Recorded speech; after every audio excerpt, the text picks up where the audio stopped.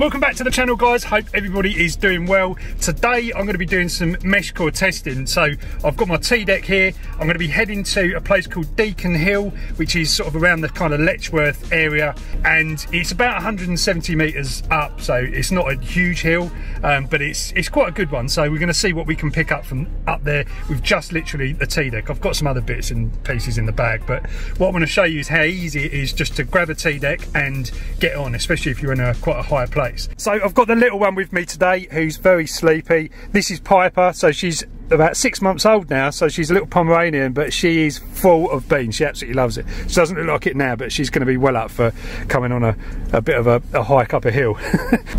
All right, we need to grab some fuel. I just heard the T-deck ping. There's a couple of messages coming. So you wonder where they came from. I'm just going to check that because you can do that by just hitting to the right of this message now. So see a lot of these are showing question marks now because I've kind of removed them from the um, discovery list because it was just getting out of control. But yeah, so you can see the see the path there. Still messages coming in, which is quite interesting. Hello. Waking up now.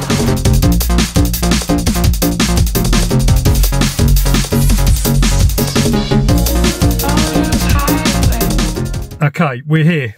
Time to wake up. So, interestingly, I haven't actually received any messages lately on this T-deck here. Um, I thought there'd probably be some coverage around it, but um, I don't know, maybe not. We'll have to go to the top of the hill. Um, one thing I could try though, quickly. So I've got one of these. This is a little Bingfu antenna off of Amazon. I've got to say, I'm quite impressed with how these work, considering they've got like pretty thin coax. Um, unfortunately, there's not enough coax still to reach the front of the car, but um, what I'm going to do is just whack this on here and just see if we can um, see if we get any repeats on this. Okay, all right. I know you've seen the sheep. Just going to send that out quickly. Right, so there's no repeats. Right, dog's getting restless. Let's go up the hill. This is what she's seen, she's interested in.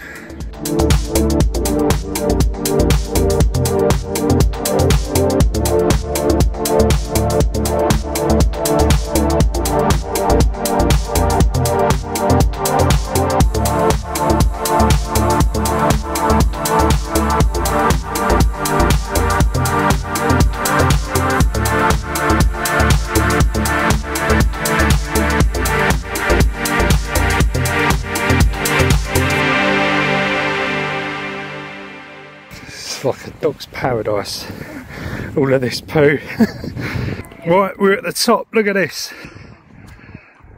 Such a nice view. So this is like this is Bedfordshire actually, not so it's Hertfordshire, but it kind of looks on.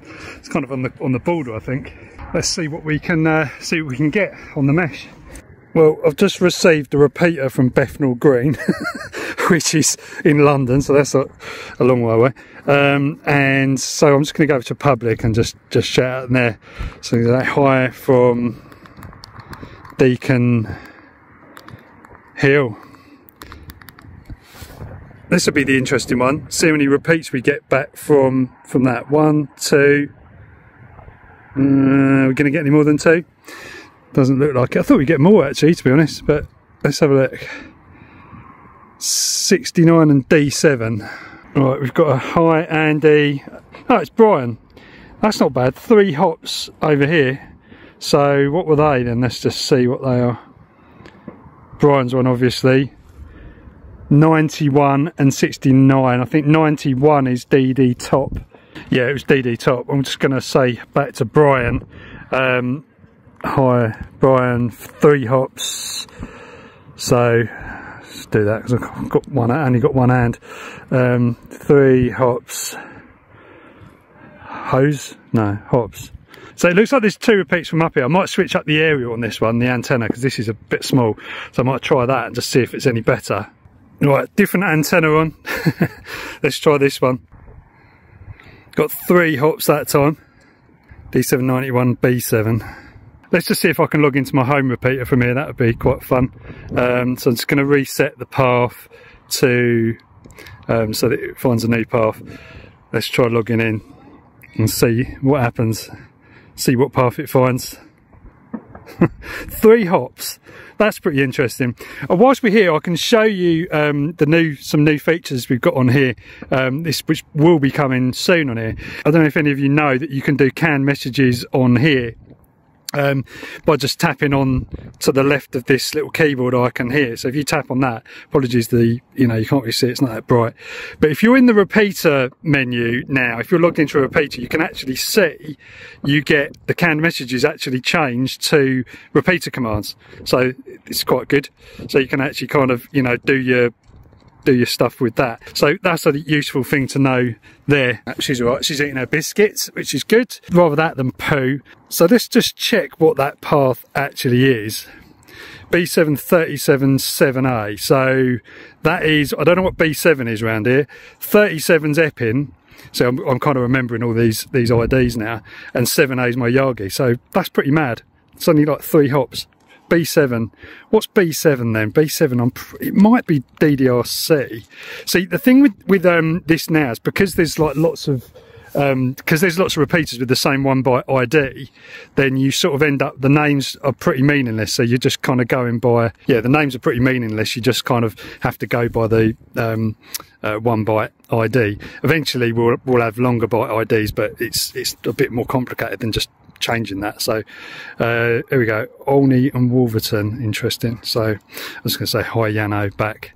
Hi Yano back up there. It's so cool, guys. It's it's such a cool hobby. This, you know, just just like radio on steroids. I just think text messaging over radio is just a, a, a complete win because there's always going to be someone around and they can easily text back whereas on the radio people just don't tend to talk they just listen most of most of the time a bit like me really i mostly listen on the airwaves but there you go yeah interesting still up here getting a bit cold now but yeah just having a chat just literally just having a chat on public with with the Meshcore crew. It's just such a good community. It's just like CB radio, really, like back in the old days. But just as I say, just on uh, with text message. So you know, I'm just up here enjoying the outside, outdoor life with the dog. Just texting um, like-minded people. It's brilliant. I could do I could do some detailed path analysis, but you know what? I can't be bothered. I'm just going to enjoy it up here, and then um, yeah, I think I'll just head back down in a minute, and we'll go and go and grab a coffee and some lunch or something. I think. What do you reckon?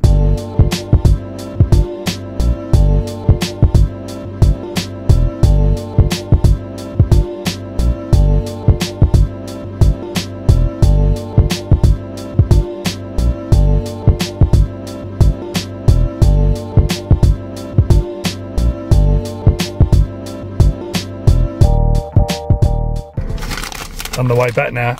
This dog loves McDonald's um, and she shouldn't really have it. It's not very good for her, but she can have a bit of chip though. There you go. Come on. I'm just going to lick the salt off it. It's all that poo you've eaten.